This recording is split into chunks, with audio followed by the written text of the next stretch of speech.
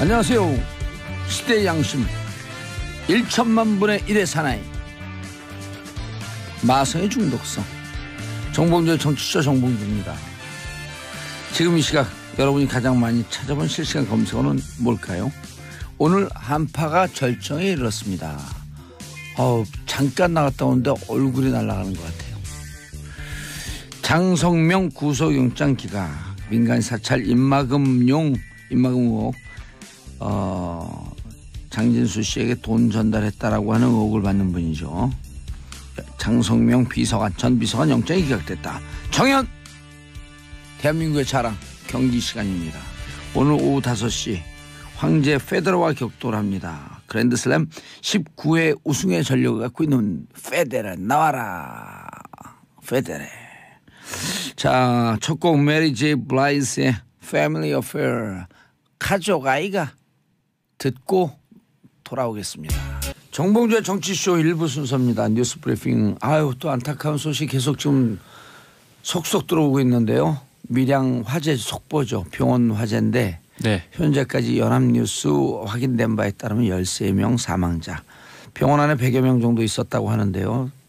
사망자가 점점 더 늘어날 것 같다는 어, 지금 진압 화재 진압 중인데요. 간단치가 않네요. 네, 오전 7시 30분경에 그 밀양시 가곡동에 위치한 세종병원 1층에서 불이 났는데요. 일단 소방당국은 9시 15분경에 큰 불길은 잡았다라고 발표를 했는데 지금 이 과정에서 지금 13명이 숨진 것으로 확인이 됐고 이게 계속 지금 늘어나고 있거든요. 그래서 네, 뭐 더 이상 늘어나지 않았으면 좋겠는데 그래서 지금 중상만 해도 뭐 11분, 그다음에 경상을 입으신 분은 뭐 33분 뭐 이렇게 숫자가 나오고 있는데 뭐 지금도 구조 작업이 계속 이어지고 있대요. 그래서 숫자는 더 늘어날 가능성이 계속 그 진행 중인 건가요? 네네 큰 불길만 잡았고 지금 잠불을 잡으면서 구조 작업도 같이 병행을 하고 아. 있다고 합니다.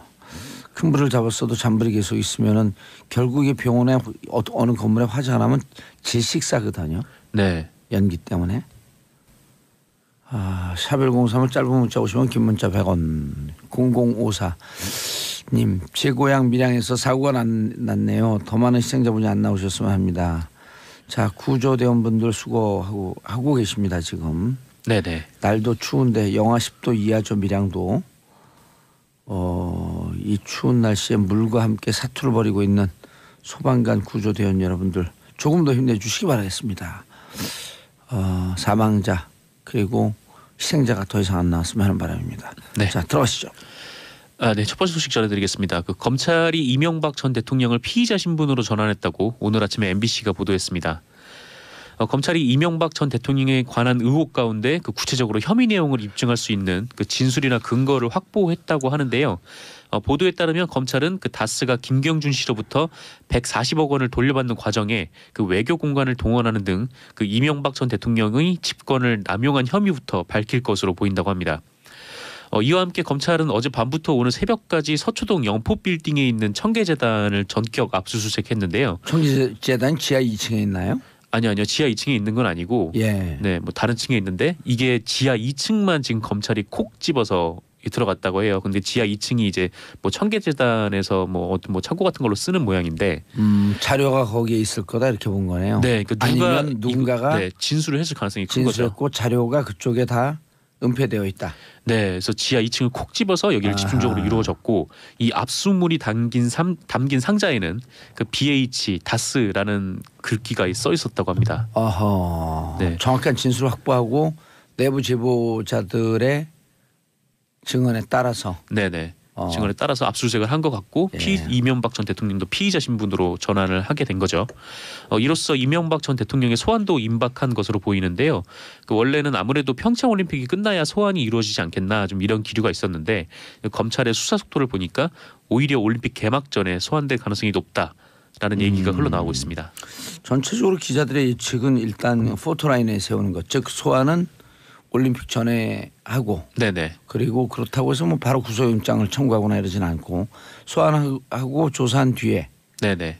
어 보통 이렇게 되면 이제 뭐 스무 시간도 넘 가까이 갈 수도 있을 정도의 장기 조사 일터인데 구속영장 청구 여부는 올림픽 이후에 이후에. 하지 않겠느냐. 네네. 아, 왜냐면 이 평화 올림픽이나 이런 분위기 지금 좋은데 깰 그 고춧가루 뿌리면 안 되거든요. 네, 뭐 아무래도 그렇죠. 뭐 뉴스의 눈과 귀가 거의 다 올림픽에 모아지는 시기이기도 음. 그렇죠. 하고요. 올림픽의 모든 주제를 빨아들이면 블랙홀이 되는 텐데. 네, 그렇습니다. 음. 이 다스 관련 보도도 쏟아지고 있는데요. 그 MBC가 연이틀 그 다스 관련 녹취, 녹취록 특종을 내보내고 있습니다.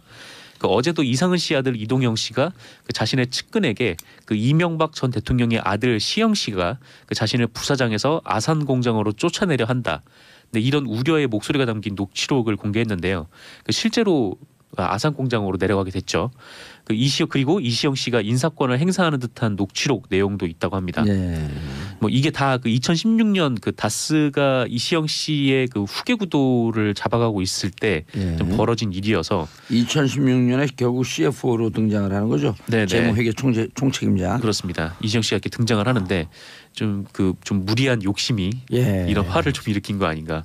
좀 그런 생각도 듭니다. 2010년도에 해외 영업의 과장, 영업팀의 과장으로 들어왔다가 네. 6년 만에 허허 회사를 장악하는데 지분 일도 없는데 지분 일도 없죠. 지분 일도 없고 예. 이 회사 자체가 이상은 씨가 실소유주라고 이명박 측은 주장하고 있는 거 아닙니까? 그렇죠 명목상 소유주죠. 네. 서류상 소유주. 서류상은 음. 소유주인데 네. 그렇게 되면은 보통 자기 아들에게 이렇게 승계를 하는 게좀 옳지는 않지만 그게 일반적인 우리나라의 관행. 과정이고, 음, 예, 관행. 과정이고 또 이동 이동- 이동영 씨가 그때 이제 총괄 부사장 자리에 있었기 때문에 그게 좀 자연스러운 과정이었는데 음, 갑자기 이제 이시영 씨의 등장으로 예. 이동영 씨가 밀려나고 음, 네, 이시영 씨가 지금 다스의 그 재물을 틀어주게 된 거죠. 음, 그렇군요. 그리고 중국 아홉 개 지사 중 중요 매출을 일으키고 있는 네 개 지사의 네. 사장이 되고 네, 그렇습니다. 네 개 지사의 매출이 5,500억 가까이 되고 네, 이 돈이 되 다스에서 돈이 되는 뭐 어떤 해외 사업 같은 경우에는 다 지금 이시영 이시영 씨가. 총괄해서 네. 관리하고 있다고 합니다. 그리고 협력업체 SM 네, 네, 다운 이런데 이런 데는 또 지분이 100%예요 이시영 씨가 그렇죠. 자기 그 매제 그러니까 이명박 여동 이명박 전 대통령 여동생의 남편 과 네, 함께 지분이 100%짜리 어, 협력회사 이거를 이시영 씨 75, 매제 25. 네, 뭐 이런 식으로 해갖고 다 협력업체도 먹어가고 있고요. 그렇죠. 이게 보통 그 재벌들이 그 기업을 승계할 때 예. 일어나는 이제 편법 같은 방법인데, 재벌들이 일반적으로 쓰는 그 꼼수죠. 예, 그러니까 음. 작은 기업을 자기 아들에게, 그러니까 소규모로 예. 이제 세울 수 있는 회사를 만들어서 그 회사의 일감이나 각종 지원을 몰아줌으로써 그렇죠. 그 회사를 키워서 재산을 늘리고, SM은 자본금이 1억인데 네, 네, 다운이라고 하는 회사는 자본금이 45억인가 47억인가 그런데 네네. 1억짜리가 47억을 먹어요. 아, 예, 그렇죠. 예. 네. 그러니까 이제 우리 정상근 기자가 저를 먹어가는 거나 똑같은 거죠. 아, 제가 1억, 예, 제가 47억. 아, 네, 1억이라도 있었으면 좋겠습니다. 그럼 1원으로 하죠. 1원. 아, 1억, 1원이요? 1원대 47억. 네, 1원은 너무 없어 보이는데요. 그러면 네. 한 얼마 100만 원? 어, 100만 원, 네, 네, 100만 원. 예, 100만 원대 4,700만 원. 아, 네. 어, 좀 계산하기 복잡한데 그거는. 복잡하긴 하지만 그 정도가 예, 그냥 적절하지 1원으로 않을까. 하시죠. 1원. 아, 1원이요. 1원 동 사세요? 어, 넘어갈까요? 어, 여기에 1원이라는 것이 참 부끄러워지는 순간입니다. 우리가 서로 간에 네. 제가 47원이어도 제가 뭐가 되는 줄 아세요? 을이에요 을. 둘 다 을놀이 한 거야. 아, 네, 그렇죠. 1원이나 47원이나 힘들죠. 아, 지금 밀양에서 사고 나고 네. 좀 가슴을 조이고 있는데 우리가 이렇게 웃고 떠들고 얘기하면 안 되는데. 네, 그렇습니다. 그 두 번째 전해드릴 소식도 좀 예. 안타까운 소식이어서 네. 이 포스코에서 사고가 발생해서 비정규직 노동자 네 분이 사망을 했습니다. 다치시겠는데 결국 사망 사망한 거죠? 네, 그렇습니다. 25일 오후에 경북 포항시 남구의 포스코 포항제철소 냉각 타워에서 그 질소 가스가 누출이 됐고 아하. 네, 타워 안에서 작업을 하던 네, 노동자 네 분이 질식을 했고요. 그 이후에 병원으로 옮겨졌지만 안타깝게도 모두 숨졌습니다. 아유. 그 사망한 분들은 60세 이모 씨, 47세 이모 씨, 그리고 30, 31세 안모 씨, 26세 주모 씨였고요. 모두 비정규직 노동자 분들이었어요. 어, 이분들은 오전 9시부터 작업을 시작해서 오후 3시에 30분간 휴식을 하고 다시 작업에 예. 투입이 돼서 그 냉각용 충전재를 교체하고 있다가 갑작스럽게 변을 당하셨습니다. 예. 어, 질소가 누출이 되면 공기 중에 산소량이 급격하게 떨어져서 네, 질식이 이루어진다고 하는데요. 이 문제는 5년 전에도 비슷한 사고로 두 분이 아하. 목숨을 잃었는데 이게 이런 사고가 또 벌어진 거죠. 예. 어, 이에 경찰은 안전 관리가 제대로 이루어진 것인지 정확한 사고 경위를 조사를 하고 있다고 합니다. 여기서 또 하나 주목해 봐야 될 것은 요새 이런 위험한 일들에 네, 비정규직 노동자분들이 계속 희생을 당하고 있다라는 점인데 예. 네, 기업들이 자꾸 위험하고 어려운 일을 그 비정규직 혹은 외주업체를 써서 네, 이렇게 아예 맡기고 있죠. 그래서 예. 어, 위험의 외주화라는 뭐 사회적 용어가 있는데 네, 이번 사고가 난그 예. 포스코만 해도 그 최근 5년 새에 일어났던 크고 작은 사고 7건 중에서 그 사고로 죽거나 다친 사람이 거의 대부분 외주업체 소속이었다고 합니다. 예. 네, 그래서 좀 어렵고 힘든 일일수록 뭐 보상도 많고 음. 고용이 좀 안정적이어야 할 텐데 좀 우리나라는 좀 그게 거꾸로 가는 것 같아서요. 음. 네, 안타깝 안타깝더라고요. 네. 진짜 이게 자신들의 그 수, 수익 영리 활동은 권한이거든요. 네, 돈을 네. 버는 것은 권한 아니에요. 그럼 권한과 책임은 일대일 동등한 그람수여야 되는데 그렇죠. 책임은 밖으로 책임은 곧 희생이 따르거든요. 네, 네. 그건 밖으로 내돌리고. 아 안타깝네요. 네, 정말 안타까운 사고입니다. 예. 다음 뉴스요. 네, 박근혜 전 대통령이 최순실에게 속은 것을 후회하며 그 최순실의 국정농단 행위를 아무도 보고하지 않았다 이런 한탄을 했다고 예. 유영아 변호사가 중앙일보와의 인터뷰에서 얘기를 했습니다. 경찰 그다음에 국정원, 국정원 민정수석 네, 이런 데에서 최순실 관련 보고를 하나도 안 했다는 거죠. 예. 그 문화체육관광부에서 그 정유라가 관련된 승마 얘기를 했다, 했다가 고위 공무원들이 그대로 나쁜 사람이란 평가를 듣고 내보내지지 않았습니까? 예. 이런 상황에서 네, 어떻게 이제 최순실을 보고를 했을 수가 있을까라는 생각이 좀 드는데 어, 이 인터뷰에 따르면 유영아 변호사는 그 박근혜 전 대통령이 최수, 어, 최순실 씨에게 속은 것을 뒤늦게 알고 크게 크게 후회하고 있다. 네, 박근혜 전 대통령은 국정원, 경찰, 민정수석 등으로부터 최 씨에 대한 보고를 받은 적이 한 번도 없다. 왜 아무도 최 씨에 대해 보고가 없었는지 안타깝게 생각하고 있다라고 말했다고 합니다. 아니 최 씨가 거기까지 온 과정은 어떻게 왔는데요? 박근혜 근처까지 온 과정은 어떻게 왔는데요? 어, 사실 그 왜 박근혜 그 박근혜 대통령이 이렇게 얘기하죠? 누가 나한테 소개했는지 원망스럽다. 네, 그 누가 소개를 했다기보다는 그보다 더 훨씬 더 오래 예. 전에 왜 최순실은 최태민의 딸로 태어났는지 그렇죠. 원망스럽다. 예, 최태민 목사를 만나면서 예. 이게 연인이 된 거죠. 최태민 목사와 내가 왜 가까이 지내는지 원망스럽다. 어, 그 얘기를 했으면 오히려 나는 왜 태어났는지 원망스럽다. 이렇게 되는 건 똑같은 거죠. 어, 아니 그렇죠. 어떻게 박근혜 근처를 갔겠어요? 네, 갔는데 그걸 간 사람이 국정농단 한다고 그렇게 가까이 갔고 최측근인데 경찰 국정원 민정수석이 거기다 얘기했다 다 잘릴 텐데 그렇죠. 네, 예를 들어 정상 기자가 여기서 밖에 있는 PD 욕해봐요 저한테 그냥 가세요 집에 아, 나는 그래요? 나는 PD가 내 오른팔이라고 생각합니다 네, 안 되는 건가요? 아니 왼팔이에요 왼팔 어, 또 다른 얘기들도 있었는데요. 예. 그 박근혜 전 대통령은 최 씨가 유영 유영하는 이게 박근혜 대통령 얘기인지 진짜 맞아요? 아, 이 인터뷰를 할때 예. 그 유영아가 이렇게 주장을 했대요. 자기는 이 박근혜 전 대통령한테 예. 이 미리 인터뷰 승낙을 받았다라고 얘기를 했다고 합니다. 그럼 그거 어떻게 확인하냐고요? 그거는 이제 확인할 길은 없죠. 근데 어쨌건 유영아는 그렇게 주장을 하고 있고 예. 유영아 발 가짜 뉴스 같은데 뭐 가짜 뉴스일 수도 있죠. 예. 네, 중- 자기 정치 하는 거 중앙일보가 아닐까요? 그냥 인터뷰이다 보니까요. 곧 국회의원 선거가 다가오니까 어 가능할까요? 자기 정치 네할 수도 있는데 어 이번에 어디 지방선거 출마하는 거 아닐까요 유영아 대변인? 아 유영아 지방. 대변인이나 변호사? 네 지방선거 예. 네, 뭐 서울구치소 인근에 아니면 인천이니까? 인천. 아그 그 경기도 아, 화정. 예. 화정이니까 거기 뭐 구의원 이런 거 출마하지 않을까? 아 글쎄요. 근데 기초위원? 뭐 그건 잘 모르겠습니다만은 그거 취재와 그런 거 취재와 이 기자가 그런 거 취재 안 하면 어떡해요? 아 유영아가 지방선거에 나가는 걸요. 네 그렇군요. 자 이상덕 전 의원 휠체어 타고 방금 걸- 검찰 출석. 자 콜록 성명을 내신 분들 분도 곧 아플 예정입니다. 것 같습니다. 아 근데 참 이렇게 휠체어들 타고 많이 들어오시더라고요. 예. 검찰에 아니, 창조 때. 경제예요. 어 네네. 아 휠체어 경기를 살리기 위해서 아니 그렇죠. 휠체어도 경기를 살려야 되고 네. 또 미는 사람이 있을 거 아니에요. 아, 일자리. 네. 고용. 일- 고용 찬출로. 그렇군요. 네, 어쨌든 요거 둘이 계속 밀면 두? 개, 두 개, 두 자석. 아, 네, 뭐 둘이 밀진 않죠. 그리고 거기 담요 덮잖아요. 담요. 네네. 아, 담요. 예, 생산 창출. 아, 네, 그렇죠. 예, 돈이 어, 돌잖아요. 다양한- 돈이 돌잖아요. 소비. 아, 네, 그렇군요. 병원에 가셨으니까 또 병원에서도 그렇죠. 어, 네. 병원. 요즘 병원 적자거든요. 아, 예. 예. 근데 보- 우리 우리가 낸 세금으로 보험 쓰지 않았을까? 그런 거 취재해 오세요. 보험 썼는지 안 썼는지. 아 이상득 예. 그거 쓰러졌을 때요. 예. 뭐 아마 뭐 급여 항목이 많지 않았을까요? 음. 네, 의료보험으로 적용될 수 있는 항목들이 예. 아이고. 7724님 며칠째 한파로 수도가 얼어서 빨래도 못 하고 밥도 못 하고 씻는 것도 제대로 못 하고 있어요. 얼른 한파가 물러갔으면 좋겠습니다. 남극보다 더, 더 춥답니다.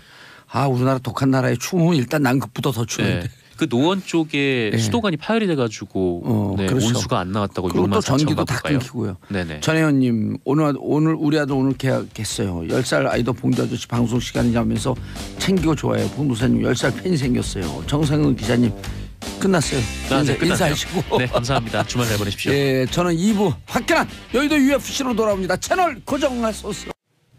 정봉주 정치쇼 2부 들어가 있습니다. 아니 우리가 요 사이에 인터벌 인터벌 구라나 혹은 인트로 구라하다가 다 터져. 자 박주민 더불어민주당 의원님 오늘 방청객 모드로 나오셨습니다. 네, 박주민입니다. 예, 여당은 발언 기회 없는 거 아시죠? 거의 지난번에도 안 주시더라고요. 그러면 네. 이재정 의원 나왔고 막 화내면서 가, 면서 그래도 아 뭐 말하래도 뭐 그냥 되는데 뭐 왜냐면 그래도 발언 찍게 하셔도요 출연료는 다 안 드립니다. 네. 상대적 박탈감이 있네. 자 이용조 어, 전 국민의당 저는 아닙니다. 현, 현, 아, 현 국민의당.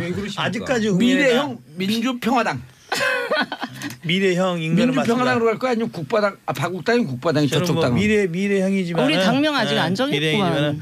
국민의당과 바른정당 합당이 된다면은 예. 저는 그 당에는 가지 않고 어허. 어, 같이 이제 미래 예, 음. 민주평화당 쪽으로 갈 예정입니다. 민주평화당이 지금 지지율이 안 나오죠. 어, 아니 뭐 나와요. 창당, 3.1%. 창당도 되기 전에 예. 예, 한4% 가까운 지지율이 나오고 있으니까 예. 실제 창당이 이루어지면은 쑥쑥쑥 올라가지 않을까. 오. 어, 잉태도 되기 전에 예. 출산도 아니, 되기 전에 왜냐하면 3% 3, 4%니까. 지지율이 많이 나오면 저렇게 발언 기회에 대한 집착하지 않아요. 방송 분량에 집착하면 일단 지지율이 안 나오는 거야. 자, 윤소아 정의당 의원님. 예. 뭐 저희 정의당은 영원히 어, 정의로운 정당으로 인사하세요. 성장하고 있습니다. 인사하세요. 윤소합니다. 반갑습니다. 네. 자, 진수희 바른정당 전 재선 국회의원, 전 복지부 장관, 전 최고위원, 천직 전문.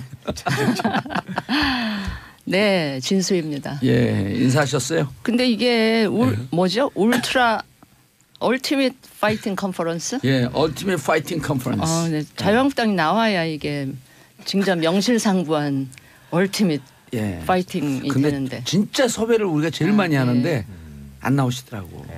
자유한국당 나오면 그는 출연료를 좀 주는 걸로 조건을 바꿔줘. 거기만 주는 걸로. 거기만 주는 거로. 차기 집권을 포기했나요? 아니 거기 보이콧 정도 해라며. 출연도 보이콧 하는 거. 아니 나 없는데 이렇게. 그 맞아요. 하면 예, 예. 그럼 더안 재밌어요. 나오지. 저는 분명히 출연료를 주자 이렇게. 예. 알겠습니다. 저는 바른정당 흉볼까봐 제가 열심히 여기를 나오잖아요. 아, 아니 근데 진짜 진수 의원님은 예. 그 호감도가 급상승했어요. 아, 예. 방송 쪽에서 막 섭외가 들어와. 진수 의원 전화번호 알려달라 그래서 네가 하세요. 자 평창 올림픽, 평양 올림픽. 평양 올림픽이라는 분 여기 안 계시잖아요. 진수 의원님 한 분 계신가? 아니에요. 저는 올 예. 계속 평창 올림픽입니다. 제가 뭔- 그러니까 유감스러운 게 예. 우리는 우리가 유치한 건 평창 올림픽인데 예. 왜 요새 평화 올림픽이다, 평양 올림픽이다 이렇게 싸우는지 모르겠어요. 예. 유감입니다. 아 요즘 타월이 떴잖아요. 송월 타월. 자, 근데 우원식 대표가 펴- 올림픽 기간 동안 정쟁 중단을 제안했다. 음. 음. 민평당. 아직 뭐 뭐 아직은 현 국민의당이죠. 예. 음 경쟁 뭐, 뭐 유승민 대표는 어이가 없다. 중단보다는 예. 중단보다는 뭐 큰 문제가 있으면 정쟁하겠죠. 예. 어, 뿐만 아니라 현재 올림픽 기간 동안 앞으로 국회 내 음. 선거법 협상이라든지 개헌이라든지 여러 가지 문제가 있지 않습니까? 예. 정쟁이 없을 수 없다. 아, 예상되는 정쟁은 있겠지나 그것이 올림픽 모두의 예? 평화 모두나 즐거운 모두에 찬물 끼얹지 않는 그런 예. 선에서는 정쟁도 있을 수밖에 없다라고 봅니다. 음.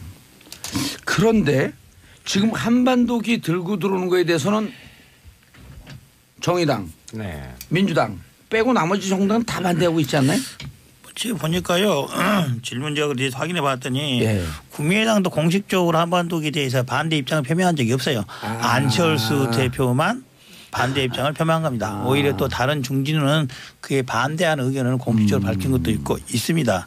어, 저 개인적인 생각은 저는 한반도기 공동 입장 시 입장 시 한반도기 드는 데 저는 찬성하는 입장입니다. 지금 한반도기를 들자라고 하는 게 팩트 체크를 좀 해봐야 되는데 입장 퇴장 시 그렇죠. 그렇죠. 그리고 그렇습니다. 공동팀이 그 단일팀이 메달을 땄을 경우에 음. 그런데 그렇지 않은 경우는 아이고, 대한민국 팀은 아, 태극기. 태극기. 태극기 북한은 북한 그 피겨도 나오고 그러는데 거기는 만약에 예. 금메달 딴다. 따면은 인공이 알아야죠. 자기 올라갈 수밖에 오. 없죠. 또 지금까지 국내에서 국제대회가 여러 번 열렸고 어, 국- 북한 참여를 해서 메달 따는 경우는 이미 인공기가 개항이 됐었어요. 네. 이미 여러 이미 차례 그런 적이 있었어요. 여러 차례. 그런데 네. 안철수 그 대표께서 예.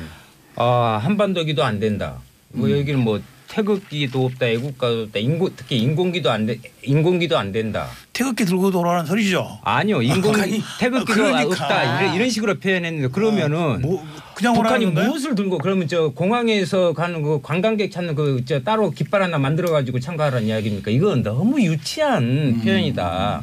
저는 이것은 오히려 아, 진수희 이, 의원님께서도 너무 말- 가까이 가지만 싼데 맞겠어요. 아니 의원님께서도 말씀하셨는데 왜 평창을 놔두고 평양이냐 이런 단어가 나오는 것을 이해할 수 없다. 저도 거기는 동의하는데 왜 평화라고 하냐? 아니 평창에서 평화로운 올림픽을 하자는 것이 지금 어, 토마스 바흐 IOC 위원장도 그렇게 지금 명칭을 이야기하고 있고 호칭을 하고 있거든요. 그 분위기인데 그것을 왜 그렇게 부정적으로 보시는 건지 그리고요 평창의 그 창자가 번창할 창자, 창성할 창자, 아름다울 창자입니다. 즉 평창에서 평화 올림픽을 하는 것은 너무나 우리 모두에게 좋은 것이에요. 예. 그럴싸하게 들리네요. 네네. 아니 그리고 사실은 이번에 제가 좀 알아보니까 아이스하키 단일팀의 경우에는 음. IOC에서 더 적극적이었대요. 그럼요. 예, IOC에서 단일팀을 했으면 좋겠다는 입장이 좀 강했고 예.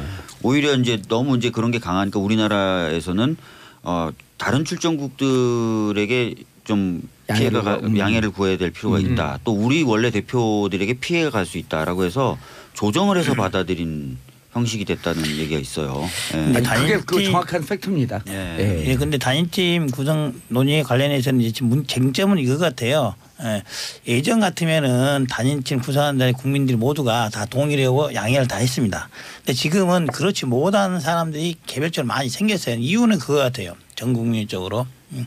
예전에는 남북 화해 차원에서 단일팀을 구성해서 좋은 분위기를 하자고 했는데 예. 단일팀 끝나고 그런 행사 끝난 이후에 그게 다 효과가 없더라. 음. 아, 무용한 거 아니냐. 이런 것들이 국민들 잠재의식 속에 하나씩 둘씩 쌓여가고 있는 것이 문제라고 봐요. 아니 일단- 객관적으로 실제로 저 분위기가 있어요. 이 과거에 우리가 그 그 전에 단일팀 뭐 호주 이런 데서 단일팀 들고 들어갈 때 막 열광적으로 했었는 그 환호를 하고 그랬었는데 지난해 핵무기 때문에 너무 감정적으로 그렇죠. 격화되다가 벼랑한 단일팀으로 가니까 특히 젊은 층에서 이거에 대한 반감이 여론조사에 꽤 높아요. 그러니까 제가 그 얘기를 드리려고 그러는데 여기 보면 이제 우원식 대표가 올림픽 정쟁 중단하자. 그거에 대해서 이제 우리 바른정당의 그 유승민 대표가 어이없다. 근데 어이없을 만한 게요. 음. 이 국민들 입- 정서가 지금 어이가 좀 없는 게 불과 한 두 달 전 12월만 해도 뭐 핵실험한다, 미사일 쏜다 그래갖고 전 세계가 북한 대북 규제한다 이러던 분위기에서 1월 1일 날 김정은이 신년사에 한마디 턱 던지니까 그때부터 무슨 호떡집에 불난 것처럼 막 이렇게 진행이 되니까 이 진행되는 전 과정을 지켜보는 국민들 입장에서 좀 어이가 좀 없고 어리둥절. 그리고 이게 아무리 우리가 같은 민족 이라는 이유 때문에 다 이해를 하려고 해도 좀 과공 비례, 과유불급 이 느낌을 지울 수가 에, 없고요. 그다음에 우원식 대표가 정쟁 중단 이야기를 예. 했는데 보세요. 그 저기 뭐죠 한반도기 들고 입장한다든가 남북 단일팀을 지금 그 팀 사정 전혀 파악 안 한 상태로 무조건 밀어붙이듯이 하는 이런 거에 대해서 제가 보기에 여론조사상 국민들의 과반 절반 정도가 지금 그 이 반감을 가지고 동의를 못하는 음. 이런 상황 이라서 야당들이 그런 국민들의 입장을 대변해서 정부에 대해서 이야기하는 걸 갖고 무조건 정쟁이다. 이거는 좀. 곤란하다. 그래서 어이가 없다는 근데 이제 거예요. 뭐 신년사에서 네. 뭐 한마디 나오니까 그걸 막 엄청 뭐 덥석 받았다 이렇게 말씀하시는데 그 아, 호떡집에 부분은 불렀다 그랬어요. 그 부분은 좀 잘못된 것 같고요. 왜냐하면은 이미 이제 2011년에 통과됐던 이 평창 올림픽 지원에 관련된 특별법에 음. 남북 단일팀 구성에 관련된 조항이 들어가 있어요. 그렇죠. 그리고 사실상 그 이후부터 계속 단일팀을 만들면 좋겠다라는 음. 얘기가 새누리당 쪽 의원님들 중심으로 많이 나왔었고 음. 실제로 그래서 박근혜 전 정부 때 계속 노력을 해왔던 거예요. 근데 결실을 못 맺었던 거죠. 음. 그랬다가 이번에 이제 기회가 와서 그동안 노력해왔던 어, 것, 것 을 토대로 이렇게 음. 만들어지게 된 거예요. 근데 이제 와서 그거를 비, 아 비판하시면 근데 예전에 단일팀 이런 거는 생각하고요. 합의가 이루어지고 나서 실제 대회가 열리기까지 그 기간이 좀꽤좀 됐어요. 네. 그러다 보니까 국민들도 이해할 아니, 수 있는 뭐 시간이 되고 새누리당, 팀을 새누리당 구성하는 분들이, 것도 아니, 저는 국민분들의 정서를 얘기하는 게 아니라 지금 새누리당 자유한국당. 주- 자유한국당 그러니까 음, 음. 예전 새누리당 분들의 태도에 대해서 일단 먼저 짚는 거예요. 오늘 자유한국당 대표 나오신 네. 거예요? 음, 아니, 아니. 그래서 솔직히 말씀드리면 그 답답한 게 쭉 본인들도 해야 된다고 추진해 왔다가 음. 된 건데 그러면 추진해 올 때 전제가 있었던 예. 말인가요? 뭐 올림픽 전 2개월 전에만 전에 구성돼야만 된다 이런 아니 얘기 없었잖아요. 박주민 의원님 이, 이게 지금 말씀하신 게 83조의 평창 올림픽을 특별법에 따른 83조 85조입니다. 아니 그러니까 83조는 평화 증재 그 예. 노력해야 뭐 한다. 노력해야 한다. 그다음 85조에 단일 팀이 구성하면 중앙 정부와 지원할 수 지자체는. 지원할 수 있다. 네. 이제 아니, 이제 근데- 라고 했는데 이제 문제는 뭐냐면 근데 어쨌든 아니, 아니, 최근에 예. 보면 그 특히 아이스하키 같은 경우도 IOC에서 적극적으로 나온 거 맞는데 네. 아이 아이스하키 여자 아이스하키 단일팀 구성에 대해서는 반대 의견이 여론조사 아. 높게 아니 이제 그러니까 그 정부 차원에서도 네. 이게 너무 국민들하고 소통이라든지 네. 그 팀하고의 이 대화나 소통이 좀 부족했다라는 걸 부족했다. 인정을 하고 계시잖아요. 정- 그걸 갖고 자꾸 부분에 대해서는 정쟁한다고 이렇게 여당이 아니, 생각하시면 그러니까 안 돼요. 국민분들 정서 부분에 대해서는 저희들도 이제 계속 두루두루 살펴야 된다는 건 당연한 입장이고요. 예. 그 과정에서 이제 이 부분을 좀 짚어야 될 것 같아요. 어, 사실 이제 통일이 갖고 올 수 있는 여러 가지 경제적 효과도 있어요. 음. 근데 지난 이제 9년 보수 정권 하에서 통일이라는 것이 정말 뭐 터무니없는 일이다라는 식으로 많이 예. 강조가 되어 왔고 통일이 어이가 없다 그랬죠. 예, 그다음에 네. 대화와 교류 협력이라는 게 거의 없다 보니까 음.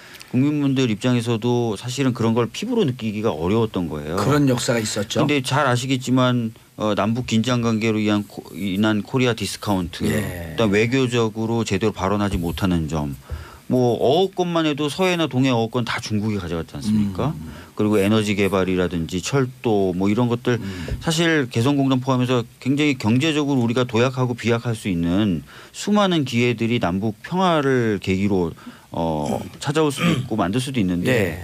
그런 부분이 사실은 지난 9년간 강조가 안 되다 보니까 일단 중요한 게 지난 9년 동안 통일에 대해서 좀 부정적인 기류와 통일에 대한 부정- 교육이 전혀 안 돼 있었죠. 어, 통일 대박이라고 지난 박근혜. 아니, 그래서 교류를 안 해요?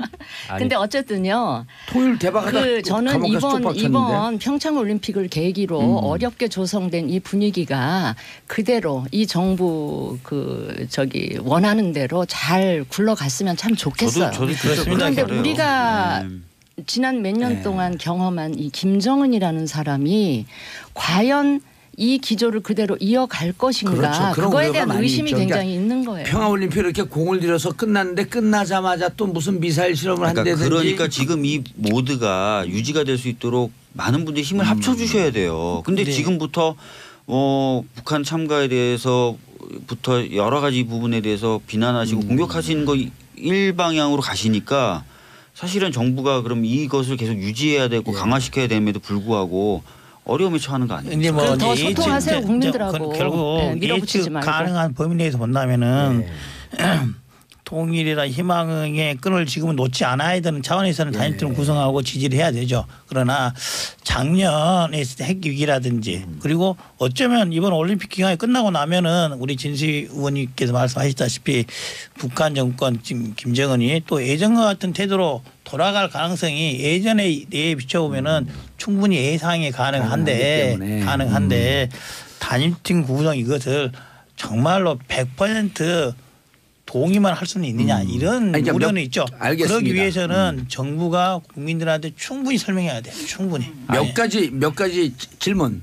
그 특히 이제 여자 아이스 하키 같은 경우는 다큐멘터리가 나오는데 그거 은근히 사람들이 많이 봐서 그러니까 이게 흑수저의 도전 혹은 흑수저의 그 마음을 좀 대변하는 듯한 이런 정서가 있었는데 20대들하고 얘기를 해봤더니 느닷없이 금수저가 세치게 들어온 거야? 이런 정서가 있는 거예요. 북한 그렇죠. 금수저. 그런데 우리 우리 정부 입장에서 이제 우리도 기성세대가 되다 보니까 아 단일팀 구성하면 다 박수를 보낼 줄 알았어.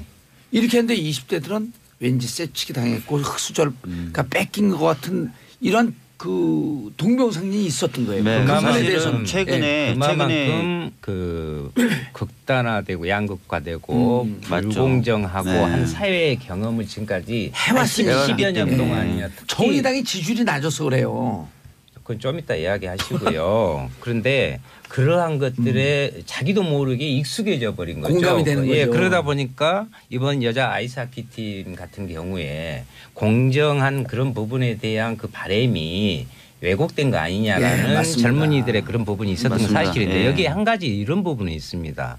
그럼 그 분위기를 결국 이명박근혜 에, 정권에서 만들었고 음. 대신 IOC에서는 그분들께 우리 젊은 세대들께 이야기할 수 있는 부분은 남북 단일팀을 구성할 경우에 엔트리 부분에 있어서 22명을 35명으로 늘려줬어요. 그렇죠. 그래서 네. 우리나라가 23명입니다. 북, 북이 12명이고요. 근데 그런 내용도 좀 알려주면서 IOC가 전체적으로 국제적으로 평창 올림픽에 대해서 남북 단일팀을 올림픽의 올바른 정신으로 삼는 중요한 것으로 보고 있다는 국제적인 그런 이- 그 이익과 그런 분위기를 갖고 있다는 장점도 설명이 에, 돼요. 아니, 근데 IOC의 그런 결정을 네. 우리 정부가 처음에 성급하게 아이스하키 단일팀 밀어붙인 그게 익스큐즈가 그러니까 그 이렇게 양해될 수는 저는 없다고 봐요. IOC 결정은 결정이고 애초에 너무 일방적으로 우리 대통령 그 취임사에서 뭐라 그랬어요. 기회는 균등하고 과정은 공정하고 결과는 정의로울 것이다. 이거를 우리 젊은이들이 환호하고 네. 나도 못. 그러니까 그 환호하고 굉장히 열광했던 대목이거든요. 의원님이 말씀하신 대로 음. 엔트리 자체의 조정으로 인해서 그 피해 입는 그 대표팀이 최소화된 예. 부분은 있고요. 그런데 그 불구하고 과정에 대해서 이런 소통이나 이런 게 그런 없이 소통이나 이런 네. 것들이 좀 부족했던 예, 건 다 맞아요. 근데 더. 적극적으로 예. 소통해야 되는 건 맞고요. 근데 엔트리 숫자가 늘어났다 하더라도 실제 출전 선수가 줄어든 것만은 틀림없어요. 그렇죠. 어, 아니 근데 또 그 사람이 이런 거 이런 출전 선수가 한 명, 두 명, 세 명이 줄었는다 하더라도 음. 몇년 어떤 사람 10년 이상 준비했던 사람이 음. 선수의 입장에서 보면은 굉장히 아쉬울 수밖에 없는 거죠. 특히 작년에 어, 남북 간 그 여자 하이스 아이스하키 대표팀을 소재한 영화도 있었어요. 예. 그때 주제가 이런 주제였어요. 남한 팀에 아이- 여자 아이스하키 대표팀을 구성하는데 북한 대표 선수 출신이 와서 그 자리를 하나 꿰차는 그런 내용이 있었어요. 그거 영화가. 실화예요. 예. 음. 실화를 그래- 배경으로 한. 그래서 음. 그때 영화에서도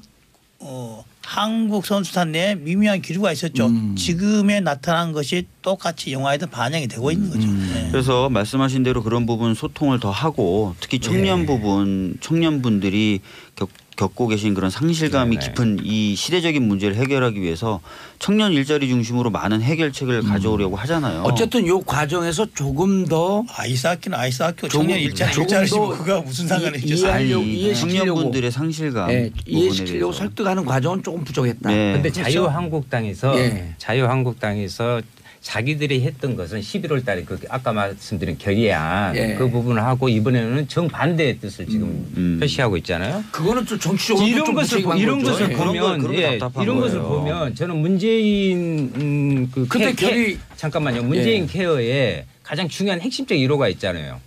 어? 친미 국가 책임제. 예? 무슨 침해. 예, 치매를 국가가 책임져서 진다는 문재인 케어의 1호 공약이 지금 자유한국당 이 거기에 좀 필요하다? 필요하다. 음. 자기들이 해놓을 때는 이제 모르겠다 이거 기억이 안 난다. 음, 아 그러니까 치매 그 1호가 자유한국당이 필요하다. 치매 국가 책임제. 인신공격성 발언하지 말라 그랬잖아요 제가. 이거 인신공격이 아니라 집단에 대해서 정치 세력에 대한 책임 있는 부분들을 하라, 하자, 하라는 거예요. 그러니까 제가 아까부터 치매예요, 지적하고 이거. 싶었던 거는 뭐 소통이 부족하다 이런 부분은 다 저희들이 겸허하게 음. 받아 안을 부분이 예. 있는데 어쨌든 어렵게 평화적으로 음. 조성된 이 분위기를 계속 끌고 가야 된다는데 또다 동의하세요. 어, 대해서는- 과거에 하셨던 부분까지 배치되면서 정치적인 공격을 하시기보다는 음. 평화적인 것이 올림픽 이후에도 이어져 갈 수 있도록 힘을 모아주셨으면 좋겠고 또 음. 청년분들이 겪고 있는 상실감에 대해서도 깊이 공감하시니 뭐 일자리 중심의 정부의 여러 가지 대책과 정책에 대해서도 좀 협조를 해주셨으면 좋겠다는 거예요. 그래서 이제 특히 이제 올림픽에 관련해서는 현재 이 바른정당이 원래 개혁적 보수를 표방했는데 이 문제에 있어서만큼은 네. 수구 보수로 돌아간 게 아닌가. 아니 우리는 어? 국민 정서 상당 부분의 국민들의 정서를 대변하고 있다 이렇게 보셔야지 그걸 그 그렇게 정파적으로 우리가 접근한다 보시면 저는 안 될 것 같아요. 아, 둘이 정파적으로 좀 싸우고 싶은 심정인 것 같은데 지금 지금. 정제 아 근데 이 얘기 그러니까 어, 지금 국민들 정서에 있어서 소통이 좀 부족했다라고 하는 부분은 인정을 하지만 2011년에 평창 올림픽 지원에 관한 특별법 통과시킬 때 주도했던 자유한국당. 바른정당 예. 153명 중에 147명이 동 그그 그 찬성을 했어요. 그 어, 결의안 원론적으로 찬성하는데 결의안은 2010년도에 뭐 2010년도에 박근혜 그. 나경원 두 분이 주도했고 이제 원론적으로는 다 찬성하죠. 이걸 반대할 사람이 누가 있겠어요. 그런데 예. 이걸 하나하나 실현하는 과정에 있어 방법론에 있어서 음, 방법론에 있어 과정에 있어서야 뭐좀 아. 불공정한 문제가 근데 이거는 그거를 계속 그거를 야당이 돼가지고 평양 올림픽이냐 이런 식으로 하시는 건 아니야 아니죠. 저희 진수위는 그렇게 안 해. 의원님 그렇게 안한것 같아요. 그러니까 이제 그 방법 지수님께서 이제 그 방, 방향은 공감하나 방법을 엄지 삼잖아요. 예. 그 방법에도 이용주. 단일팀 구성 한반도 입장도 적절한 방법이었다. 예, 합니다. 이영조 오 래간만에 나타나셔서 이 감이 없으신 것 같아 지금 광고 들을 시간이에요. 알겠습니다. 하여튼 자 광고 듣고 돌아오겠습니다. 채널 고정하셨어. 정봉재 정치쇼 3부 들어가겠습니다. 지금 여러분들께서는 더, 박, 주민 더불어민주당 의원님, 이용주 국민의당 의원님, 윤수아 정의당 의원님, 진수희 바른정당 의원님 자리하고 계십니다. 정봉재 정치쇼 3부 뉴스 특보 때문에 조금 늦게 시작했습니다. 지금까지 확인된 사망자는 31명이요. 그런데 어, 병원 두 개에서 동시에 부- 불이 나서요. 사상자가 계속 늘고 있습니다. 한 병원은 요양병원. 29명이 사망한 제천 화재 참사 그 이상으로 피해가 커졌고요. 어, 지금 대통령께서도 긴급 어, 수석 회의를 어, 준비하고 있다는 소식입니다. 아, 왜 이렇게 계속 사고가 나요? 아 진짜 뭐 마음이 너무 아프네요. 예. 네. 날씨가 추워서 이런 뭐 화기라든지 이런 것들을 접하기 쉬워서 그런 게 지금 문제가 생기지 않았을까 그리고 또 싶은데요. 계속 이게 열기구를 틀어놓으면 과열되고. 그러니까요. 그러니까 이렇게 이하튼 제천 화재 사건이 이렇게 대형 화재 사고 예. 계속된 부분에 대해서 실제로 매우 안타깝게 생각하고 특히나 이제 요양병원가 겹쳐 있다고 그러잖아요. 네. 그래서 더 어려움이 많으라고 보고요. 빨리. 예, 정교하게 빨리 좀 진압을 해서 네. 더 이상 큰 희생자가 되지 않도록 음. 해야 되고요. 한 이번 한 가지는 더 정말 그 우리가 안전에 대한 부분들을 강조하는 것이 음. 일상적으로 계속해서 돼야 된다는 걸 다시 한번 느끼게 됩니다. 근데 하필이면 또 병원 뭐 그러니까. 목욕 탕 시설 이런 데 이렇게 불이 나도 예, 힘든데. 기동력이 떨어질 수밖에 없는 그런 시설에서 이렇게 불이 나니까 좀좀 그러네요. 특히 이런 지방에 과거에 형성된 도시들은 소방도로나 이런 네, 게 확보가 안 확보가 안된 되고. 것 같아요. 예, 예. 아, 답답하죠. 자, 그래서 평창 평화 올림픽은 좀 성공적으로 치러질 수 있도록 이제 여야가 좀 힘을 합쳤, 합쳤으면 하는 생각이고요. 자, 또 대형 사고가 터졌습니다. 판사 블랙리스트. 아이고 정말 큰 대형 사고입니다. 네, 굉장히 사법부 이용주 의원이 판사 출신이시죠? 저는 검사 출신입니다. 아, 검사 그래요? 출신인데요. 근데 그 어. 당시 옛날에 증거 조작은 왜 했어요? 어, 저하고는 전혀 무관한 일입니다. 아, 그래요? 이 사법부 역사상 이게 만약에 사법부 판 블랙리스트가 제가 보기로는 현재로서 이미 확인이 됐다고 봅니다. 어, 없다는 게 아니고 확인이 됐다고 보고 이게 그 추가적인- 이용주 의원님 예. 법조 기사가 나오면 사람들이 잘 어려우니까 안 보거든요. 개괄 설명을 좀 해주세요. 뭐 간단히 보면 이거죠. 어, 대법원이 예, 위- 대법원장이 예. 대법원이 예, 자기 조직을 시켜서 어, 각각 판사들을 사찰했다. 어, 현재 어떤 판사들이냐 일반적으로도 사찰했고 특정 법관들 어, 유- 뭐 민감한 사건들을 다루고 있는 특정 법관들에 대해서는 조금 더 자세히 그리고 또 가장 중요한 게 그죠. 영향력을 미치려고 시도를 했다. 아직까지 증거 자료로는 영향력을 미쳐 성공했다는 자료는 아직 안 나와 있으나 나올 수도 있겠지만은 미, 에, 영향력을 미치려고 시도했다는 것 자체만으로도 어, 사법부 역사에 큰 오역일 뿐만 아니라 누군가는 책임을 져야 되고 어쩌면 형사적인 책임까지도 갈 수 있는 중대한 예. 사건이다. 근데 이제 더 문제가요. 뭐 판사들의 성향을 분석했고 그다음에 영향력을 미치려고 했다도 경천 동지할 일인데 더큰 문제가 아, 국정원 대선 개입 사건의 판결 결과를 가지고 음. 청와대와 대법원이 교감을 했고 판결 결과를 어, 사실은 조정하려고 했었던 것 아닌가라는 의혹을 자아내는 문건도 나왔어요. 어. 이건 굉장히 큰 거거든요. 예를 들어서 원래 국정원은 원세영 그 국정원장이 2012년 대선에서 네네네. 국정원을 동원해서 대선 댓글 개입을 했고 네. 그 문제에 대해서 1심에서는 어, 선거법은 무죄, 네. 국정원법 유죄. 근데 2심에서 선거법, 국정원법 둘 다 유죄가 나왔거든요. 그렇죠. 그 이후로 이게 도대체 어떻게 된 거냐를 음. 조사한 겁니까? 아니면 그 전서부터 재판에 개입을 하려고 했던 겁니까? 그러니까 사실은 김영한 전 민정수석의 수첩에 예. 그 사건의 1심 판결 선고 결과가 미리 적혀져 있었어요. 그래서 이게 어떻게 된 거냐. 아. 음. 그때 그때도 대법원은 우린 모른다라고 얘기했거든요. 근데 이번에 나온 문건을 보면은 항소심 결과를 보고 우병우 수석이 재판부를 전원 재판부로 해달라라는 얘기가 왔고 전원 합의체로 넘겨라. 예, 전원 합의체로 넘겨라라는 얘기가 나왔고 뭐 청와대에 상세히 보고했다. 아, 재판부를 구성한 판사들의 동향을 보고하기로 했다. 음. 이런 내용이 계속 나오고 심지어는 상고법원 관련돼서 이 사건을 계기로 법원이 이니셔티브를 질 수도 있다. 뭐 이런 식의 멘, 멘트가 계속 나오는 거예요. 그러니까 이거는 누가 봐도 어, 청와대와 교감 하에 재판이 이루어졌다라고 볼 수밖에 없고 심지어는 그 결과를 가지고 법원이 거래를 하려고 했다 청와대와 이렇게 볼 수 있는 대목이거든요. 근데 국정원 대선 개입 사건을 우리가 보통 국기문란 사건이라고 하잖아요. 그 국기문란 사건의 재판 결과를 가지고 장난을 치려고 그랬다면 이것도 역시 국기문란이기 때문에 예, 굉장히 심각한 사건이라고 저는 보고 있습니다. 예. 그러니까 블랙리스트 이번 문제의 핵심은 사찰이라는 데 있고요. 예. 이것이 사법부의 독립이 일부의 정치적 요인에 의해서 흔들렸다는 것입니다. 그래서 특히 이번에는 우병우와 그 임종원 전 행정처장의 핵심 인물입니다. 그런데 임종원 행정처장이 갖고 있는 그 PC에 음. 수백 개의 파일이 있다. 그런데 두 사- 들여다본 거 아니에요? 예, 두 당사자들이 수백 통의 전화를 했단 말이죠. 그래서 이 부분을 빨리 예, 파일을 열어보고 거기에 따라서 어? 책임을 지게 만드는 것부터 해야 된다. 물론 김명수 지금 어, 대법원장이 나름대로 의지를 밝히고는 있지만요. 이걸 보다 좀 적극화해야 되고 한 가지 참 기가 막힌 것은 거기서 성향 분석을 해서 해놨는데 보수는 빨간색 그렇게 했어요. 새누리당이 빨간색, 자유한국당이 빨간색에서 빨간색. 그리고 강경이나 개혁 그 판사들에 대해서는 검은색으로 이렇게 해놨어요. 검은색은 무슨 당이에요?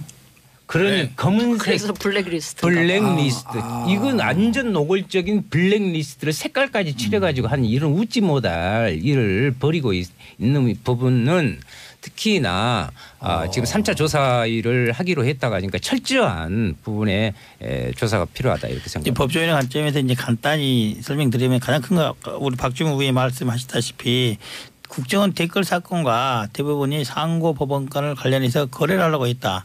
이 의혹이 제기되고 있는데 그 근거로서 들은 건 이런 거예요.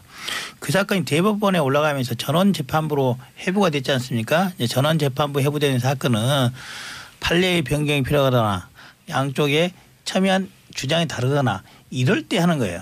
근데 단순히 증거 능력 문제 가지고 안 전원. 재판부로 회부될 사건이 아니었다. 이거는 특정한 영향력을 받아서 한 게 분명하다. 아, 또 하나는 그거죠. 만약에 전원 재판부에 간다면은 보통 전원 재판부에 가는 것은 그 부에서 이견이 있고 아주 그렇죠. 강하게 이견이 있어서 중요한 사건이라고 봤을 때 넘기는 게 대부분 그렇습니다. 예. 판례를 변경할 필요가 있다고. 판례를 변경할 그렇죠. 필요 있다. 그런데 또 더더욱 문제인 건 이거죠. 전원 재판부에 갈 정도로 중대한 사건인데 13대 0이라는 결과가 나왔다는 거죠. 13대 0. 오. 그런 사건 그렇게 논란이 없는 사건이면은 재판부에 전원 재판을 갈수 없는 사건이라는 건 반증을. 하면 아이러니하게. 네. 오히려 그 당에서 그런 당시 이런 또 논란까지 나왔어요.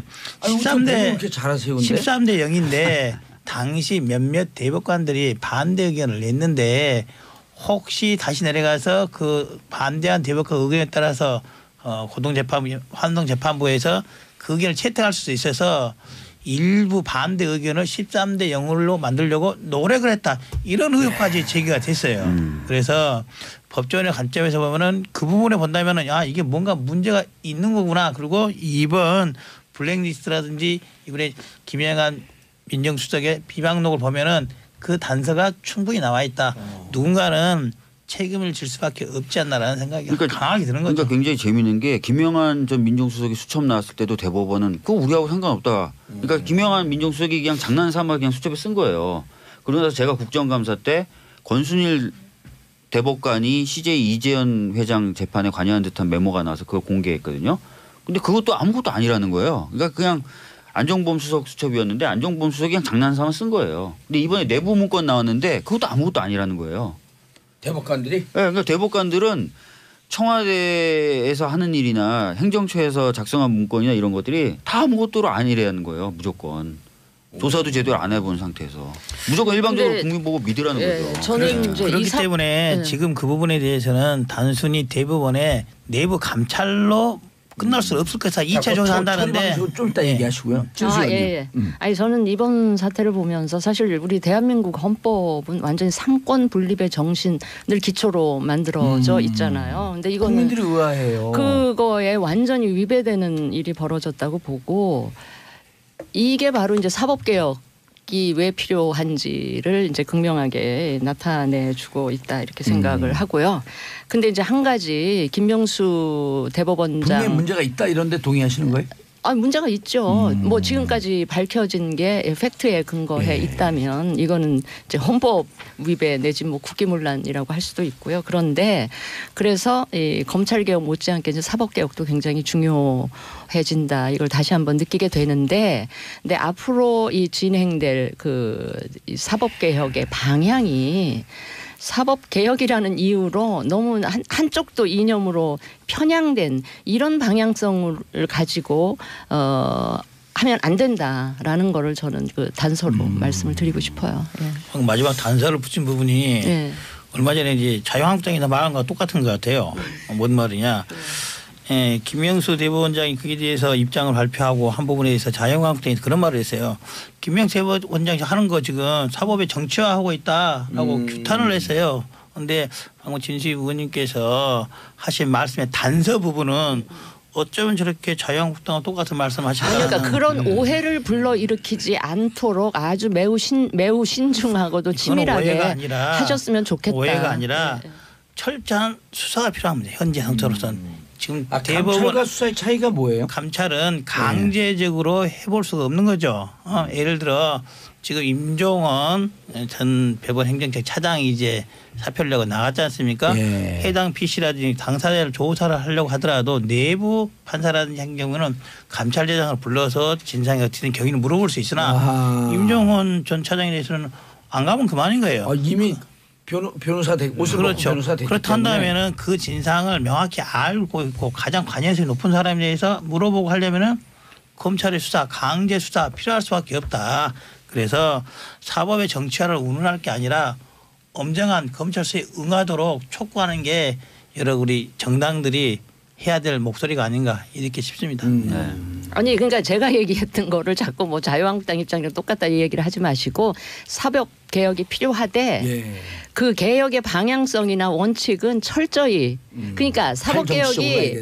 향하는 방향도 예. 사법의 그 독립이지만 그 과정이나 방법론에 있어서도 철저히 중립적으로 갔으면 좋겠다 이 말씀을 드리는 예, 거예요. 알겠습니다. 예. 자, 이 부분에 대해서는 정말 이 사법이 심각, 사법 체계 심각한 문제가 있고 특히 대법관 이 부분에 대한 그럼 강제 수사, 수사라고 한다면 검찰이 수사가 들어가야 된다는 거예요. 현재 관련해서 두 가지 사건, 어, 고발 사건이 제기돼 있고 어, 얼마 전까지 형사부에서 중앙적 형사부에서 음. 하고 있었는데 지금은 공공수사부 옛날로 따지면 공안부로 사건이 재비당됐다. 예. 검찰에서 이 사건이 이제는 단순한 사건이 아니라 중요 사건으로 아하. 보고 있다.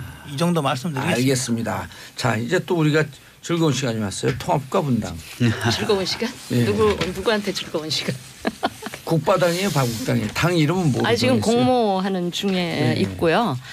저는 그래요. 이 바른정당과 예, 국민의당 일부가 합쳐지는 이게 어떻게 보면 정치적인 실험일 수 있고 새로운 도전일 수 있는데 이 실험의 결과, 도전의 결과가 어떻게 끝이 날지는 몰라요. 그건 이제 우리 하기 나름인데 저는 개인적으로 우리 이 국민들 불신받는 국민들이 혐오하는 이 정치를 바꿔내기 위해서는 설사 결과가 성공적이지 않더라도 뭔가 끊임없이 실험하고 새로운 도전을 하고 하는 그 일은 계속이 돼야 될 것 같다. 예. 그런 점에서 의미가 있다. 궁금한 게 예.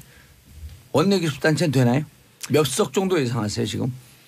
어, 한 그래도 30석, 25석에서 3, 그러니까 오. 냉정하게 예, 25석에서 한 30석 가까이 되지 않을까 싶은데 그게 다 국민의당 쪽에 달려 있는 거기 때문에 제가 예. 자신 있게 말씀드리기는 힘들고요. 이용주 이- 의원님. 뭐 어떻게 보더라도 25세기 30세기면은 어, 이전 국민의당 입장에서 보면은 마이너스 통합인 거 아니겠습니까? 그 39석이었으니까. 현재 39석이었으니까. 아, 숫자는 별로 안 자, 중요한 것또 같아요. 하나는 지금. 저, 저도 말씀나 숫자는 중요치 않아요. 이제 예전에 국민의당과 바른정당에 있어서 통합에 있어서 국민의당이 바른정당이 원했던 건 이거죠. 바른정당이 갖고 있는 개혁 보수의 이미지를 같이 얻자라는 거 있는데 개혁 보수를 대표하고 있는 사람들 중에 소위 개혁성을 대표하고 있는 남경필 나왔고 원일용 곧 나온다 그러고 김세현 이미 나왔고 지금 정병중 남아 있는데 유승민까지 포함해서 이 다섯 명 중에 소위 개혁 보수의 개혁, 개혁성을 나타내는 사람은 다 나오고 없는 거예요.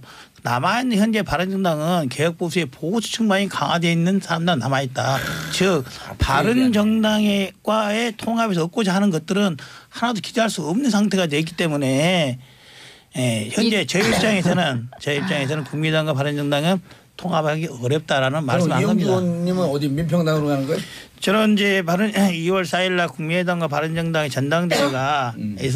합당이 의결을 낸다면은 현재 국민의당과 당의 정체성과 맞지 않는 오호. 맞지 않는 그 당에는 갈 수가 없고 탈당을 해서 현재 창당을 진행 중에 있는 민주평화당으로 갈 예정입니다. 전당대회에서 합당 결정이 안 날 수도 있다 이런 얘기인가요? 그렇죠. 오호 폭탄 발언이네. 쉽지는 않습니다. 그래서 뭐 헬멧 쓰고 강목 들고 나오고 그러나요? 요즘 뭐 헬멧 쓰고 갈목 써가지고 막을 수가 있겠나요? 아니 그뭐그그 SNS 돌았잖아요. 헬멧 쓰고 강목 들고 나와라. 전당대회 때. 뭐 그렇게 주장한 과격한 사람이 있으나 예. 그 사람의 주장일 뿐이고 전당대회가 그렇게 막아지지 않죠. 막아지지 않고 예. 아, 전국 대표 당원 대표자 대의원들이 대표자들이 어떤 말을 할 것인지에 달린 거죠. 예. 저는 이 말씀을 꼭 드리고 싶어요. 아까 말씀. 예, 10초만. 예, 예. 예. 저기 바른정당에서 개혁성이 있는 분들 다 가셨다 그랬는데 그분들이 바른정당 포기하고 자유한국당으로 간 순간 그분들은 개혁하겠다는 걸 포기하는 겁니다. 더 이상 개혁성을 갖고 예. 있지 않다 이렇게 보셔도 다음 주에 됐습니다. 한판 더 붙죠. 예, 남아 있는 아, 꼭 사람들이. 개혁적입니다. 그러겠습니다. 아 끝나 발언 게 없어요 윤수아님. 아 지금 이 가장 중요한 문제인데 아니, 지금 목포에서 지금 어제 벌어지고 있고 그러는데요. 예, 아, 저는 끝났어요, 예. 끝났어요. 자 우리 속보 때문에 예 죄송합니다.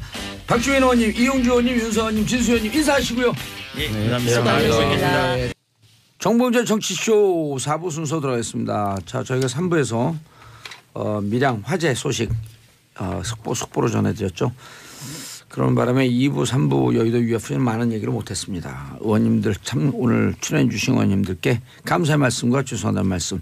그러나 사고가 좀 빨리 수습돼야 되는 마음- 마음에서 속보를 전해드렸습니다. 자 정치 뉴스 빼고는 다 있는 시간 비정치회담 화재근 문화평론가님. 예 안녕하세요. 예.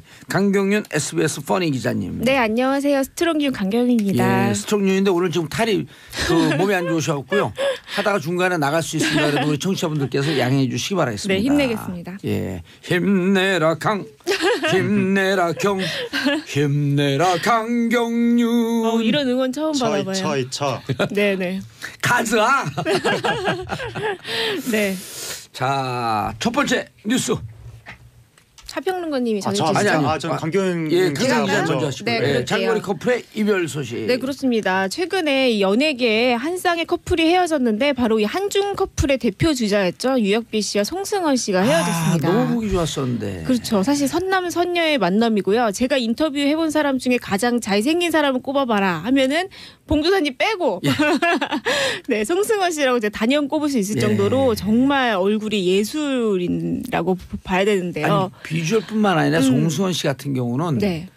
그 약간 우수의 분위기가 맞아요. 있어서 여성분들이 무척 좋아하는 분위기거든요. 맞아요. 비주얼뿐만 아니라 맞아요. 저도 인터뷰 하다가 한 세 번 정도 혼절할. 뻔했습니다. 예. 실질적으로 매너. 굉장히 매너남이죠. 예. 네, 저희도 인터뷰하면서 참 여기자들 많이 그 혼절할 뻔하다가 예. 살아나서 기사 쓰고 막 그랬는데요. 제가 송수원 씨잘 알아요. 어, 어떻게 잘하시죠? 제가 정치계의 송수원이거든요. 어머 어머 어머. 아, 예. 안 들은 걸로 네, 하겠습니다. 제가 기자계의 유혁비입니다. 기적도 네, 많이. 아픈가 봅니다. 네.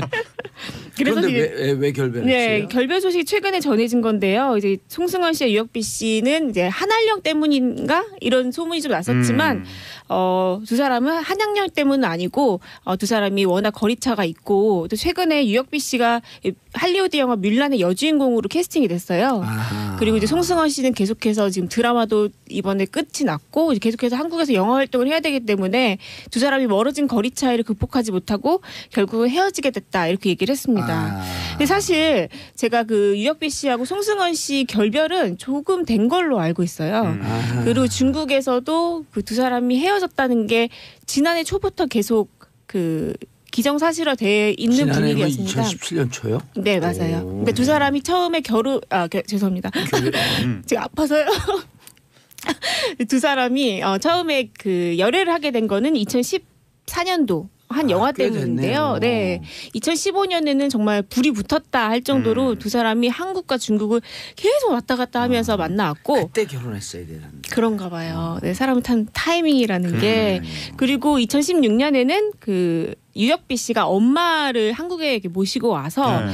그, 유혁, 그 송승헌 씨하고 함께 이렇게 골프를 치는 음, 모습도 남해에서. 포착이 되고 그랬거든요. 네. 네. 그러니까 그럴 정도로 이제 두 사람이 결혼설까지도 꽤 구체적으로 나왔던 것 처럼 참 이 둘은 어 참 연예계 한중을 대표하는 그런 부부가 되지도 않을까 되지 않을까 네. 이런 얘기가 나왔었는데요. 어 두 사람이 이렇게 헤어지게 돼가지고 좀 네. 안타깝다 반응이 이어지고 있죠. 그 처음에 음. 불이 붙었을 때 말씀하신 대로 바로 결혼을 했어야 되는데 네. 그 시기를 놓치고 두 사람의 생활 무대가 다르면 네. 아무래도 점점점 이제 균열이 네. 가더군요. 다른 맞아요. 커플들을 다른 보면. 얘기지만 참 결혼 타이밍이라는 게 저도 저희 남편 하- 만난 지 한 달 만에 결혼했거든요. 예. 네. 사귄 지. 예. 사귄 지 한 달 만에. 네, 사귄 지 한 달 만에 결혼 이제 결심해가지고 경솔한 결정 아닙니까? 뭐 어떻게 눈왜 떠보니까 이게 잘 지난번에는 살고 있는데요. 한 달 만에. 지난번은 매체 비평을 하더니 오늘은 또 결혼 비평을 하네. 네. 그 진짜 결혼은 좀 타이밍이고 네. 정말 그런 것 같습니다. 네. 아니 한 달 만에 결혼식을 올렸어요. 그래서 아까 결혼을 이제 결정하고. 결혼, 결정을 했죠. 네. 오. 그 다음부터는 그냥 결혼 준비만 하면서 어, 네, 두분 닮았어요, 근데. 아, 보셨죠? 아세요? 우리 벙커에 한번 아 왔었거든. 맞다. 어, 네. 예. 두분 닮았어요. 아주 잘 어울리는 한 사람. 어, 예. 어, 네. 제가 좀 더 예쁘지 않나요 남편보다는? 어, 남편도 이쁘장해요. 남편도. 하여튼 뭐 천생연분인 것 같고 네. 근데 연예인들은 너무 바빠서 그 순간을 딱 놓치면 각자 스케줄 때문에 네. 근데 운명이에요. 운명일 수도 있고 그럼요. 네. 근데 이제 스케줄 때문에 몸이 멀어지고 마음이 멀어지는데 그걸 가지고 팬들은 또 여러 가지 상상을 하죠. 음. 그러면서 이번에 뭐 한알령 때문 아니냐 근데 예. 거기까지는 아닌 것 같습니다. 아, 네. 하나를 영어. 그러니까 이게 영화 이런 속담 있잖아. Out of sight, out of mind. 맞아요. 안 보면 잊혀진다. 맞아요. 그렇습니다. 망고에 질립니다. 네. 안 네. 거에 질린 거죠. 그다음에 십수년 전에 Time cover story 그 기사 중에 하나가 Love is chemistry. 예. 사랑할 때 음. 몸에서 특별한 엔돌핀이 돈다는 거예요. 네. 특별한 화학물질이 나오는데 예, 그게 예. 맥시멈 나오는 게 3년 동안 나온다. 오. 예. 그 3년이 지나면 유효기간이. 식어진다 그런데 우리 집사람은 이제 35년 됐거든요. 네. 지금도 나오는 것 같아요. 어머. 우리가 무슨 어, 약간 문제가 있는 것 같아요. 그것은 그 생물학을. 거스르는 건데 원래 그렇죠. 예, 3년 정도 지나면 이게 화학 물질이 분비가 안 되면서 이렇게 차분한 관계로 이어지는 건데 그러니까 우리 열정이 집- 사라지고 우리 집사람이 송수원을 놓치고 싶지는 않은 거죠. 그럼 봉조사님은 아, 예. 다시 태어나셔도 지금 아내분과 결혼하시겠어요? 아, 우리는 다시 태어난 게 아니라 이미 우리가 한 16번쯤 환생한 것 같은데 계속 산 것 같아요, 그냥. 현명한 대답. 이것을 어떻게- 네. 그리고 사실 개그맨 김준호 씨도 비슷한 응. 경우인데 최근에 이혼을 있잖아요. 네. 그 김준호 씨 같은 경우도 결혼하고 1년이 채 안 돼가지고 이제 와이프 그 아내분이 아, 김준호 나 필리핀으로 김준현인 줄 알고 깜짝 놀랐어. 김준호입니다. 네, 김준호 씨가 그리고 계속 행- 계속 혼자 살고 있었어요. 예. 김준호 씨도 굉장히 뭐 방송뿐만 아니라 방 사업도 굉장히 많이 하고 그렇죠. 개그맨들 뭐 그런 사업도 많이 하는데 보면은 김준호 씨가 이렇게 가정에 이렇게 이렇게 뭐라고 해야 되죠? 그러니까 가정을 돌보고 막 이렇게 하는 시간보다는 계속 사업만 하고 있어서 어. 혹시 이혼한 거 아닌가 이런 얘기까지도 좀 돌 정도였는데 그런 건 아니었고 좀 두 사람이 떨어져서 한국과 필리핀을 좀 오가면서 지내다가 이제 결국에는 서로의 미래를 위해서 이혼하게 음, 됐다. 아 이렇게 김준호 씨의 됐습니다. 부인은 필리핀 분이었어요? 아니요 한국 아, 사람이고요. 한국 분인데 어. 필리핀으로 가서 활동을 한 네, 거예요. 그러니까 아. 결국 참 특이한 케이스인데 네. 결혼하고 1년 만에 필리핀으로 유학을 갔죠. 그러니까 오. 여- 부부가 왜 떨어져서 사는지 사람들이 굉장히 이상하게 참 이상하게 생각했거든요. 생각하죠. 예. 네, 속사정이 좀 예. 있다고 하죠. 굉장히 음. 오랫동안 떨어져 있다 보니까 네. 아무래도 자연스럽게 예, 음, 그 말씀하세요. 김준호 씨 같은 경우에 한 번 이제 뭐라 연예계 하면 고비가 있었잖아요. 네. 그 기획사가 망했었죠. 그거 전에 이제 어. 불법 도박 같은 걸로 음. 해가지고 아. 한번 무리를 일으켜서 그때 당시 이제 김준호 씨가 굉장히 힘들 때였기 때문에 약간 두 사람이 떨어져 지낸 시간이 좀 길어졌고 음. 그 다음부터는 이제 조금 이제 관계를 회복해서 지내려고 했지만. 이제 결국에는 이렇게 좀 안타깝게 어, 결말이 난 것 같습니다. 예. 네. 아 그렇군요. 네. 안타깝네. 다음 이슈 하채근 평론가. 네. 다음 이슈는 빙산 빙상 연맹에 쏟아지는 분노. 네. 노선영 선수에 대한 대중의 안타까움.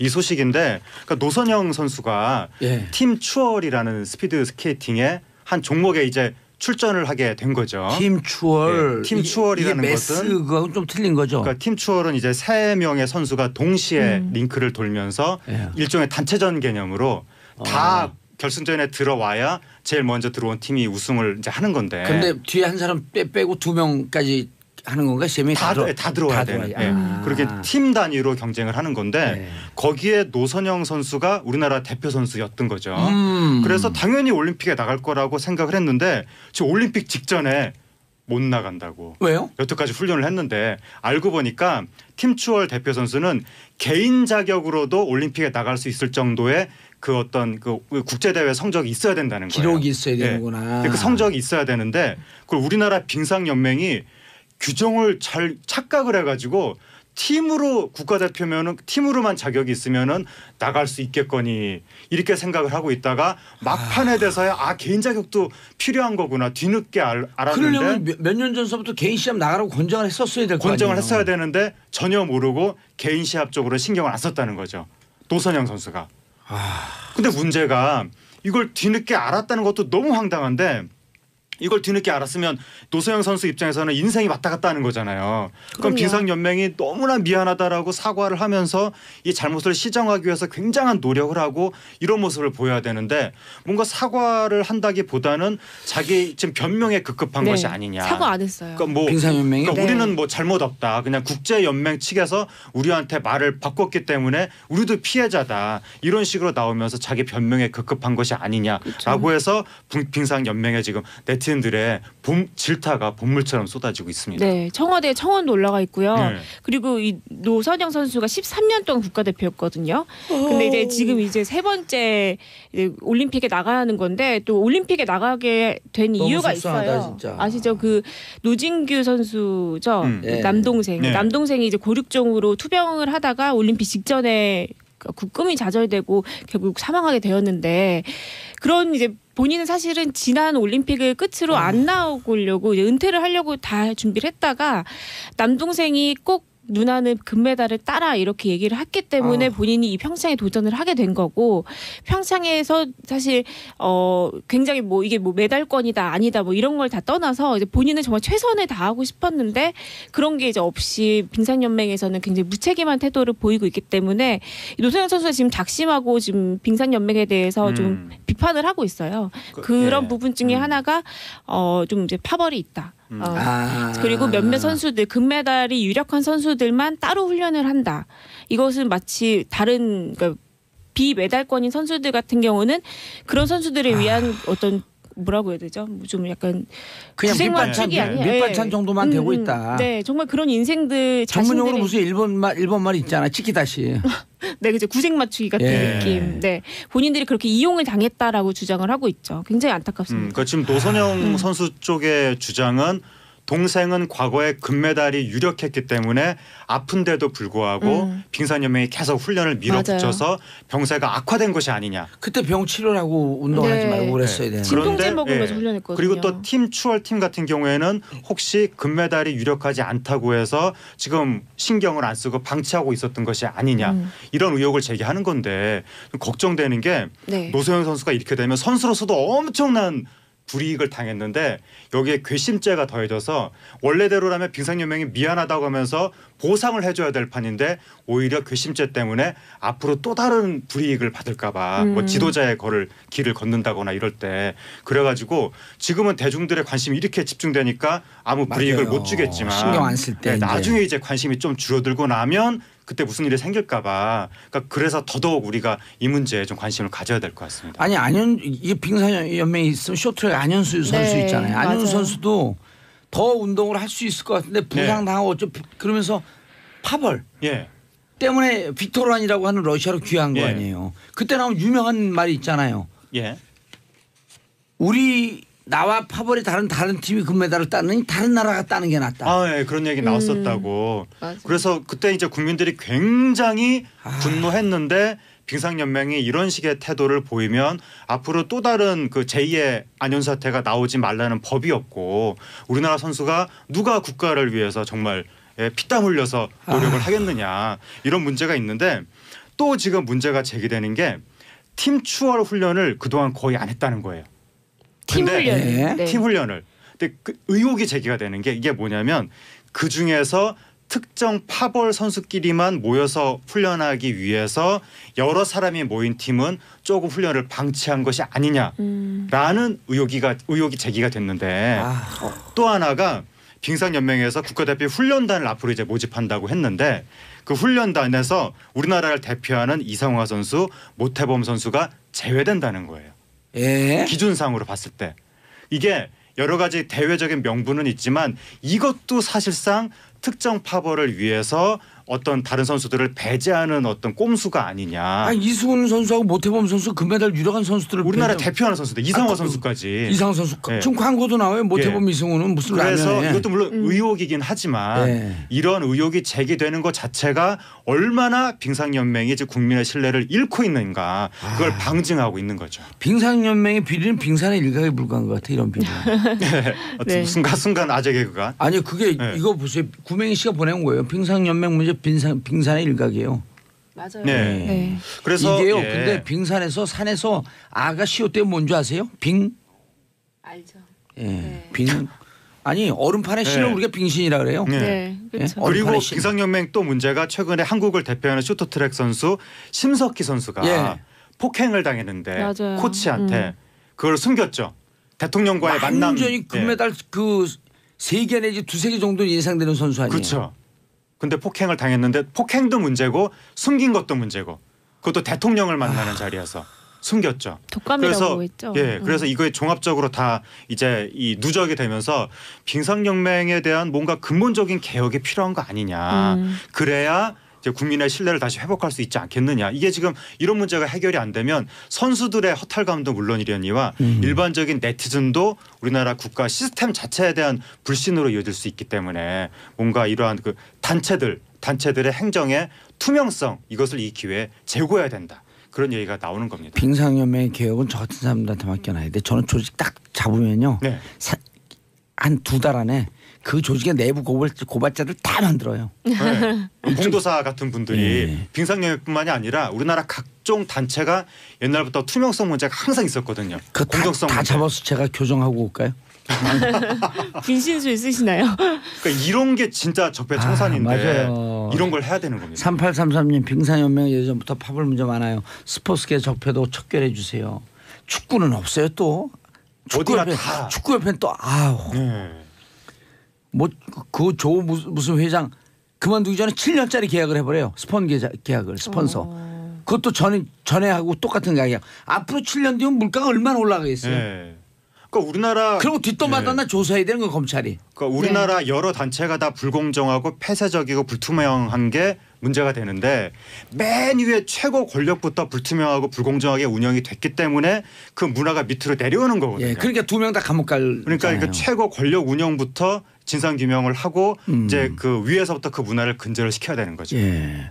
언제는 우파 갔다가 오늘 오늘 또 좌파 갔다가 좌우로 왔다 갔다 하는 거 원래 빙상은 좌우로 왔다 갔다 하는 거예요. 아, 예. 그렇죠. 갈짓자로 걸어가겠습니다. 자 양영 씨님 도대체 기본도 안 된 연맹 때문에 애매한 선수들한테 피해가 가니 정말 어디서부터 잘못된 건지 마음 아프네요. 그래서 이렇게 적폐청산하러 들어간다 그러잖아요. 서로 파벌끼리 상대방만 욕해. 그렇죠. 아 이거 참 어떻게 하지 빙 이 빙 얼음판의 신은 뭐라 그러죠? 아, 빙신이죠. 예. 얼음판의 신. 빙상 연맹이 우- 우리 얼음판의 신인가? 글쎄 얼음판에 신이 많은 것 같기도 하고 뭐 더 이상 제가 자세히는 말씀을 못 드리겠습니다. 방송 씨는 그럼 방신이에요? 네, 방신이죠. 아프세요? 빨리 끝내야 될 것 같아 우리. 네.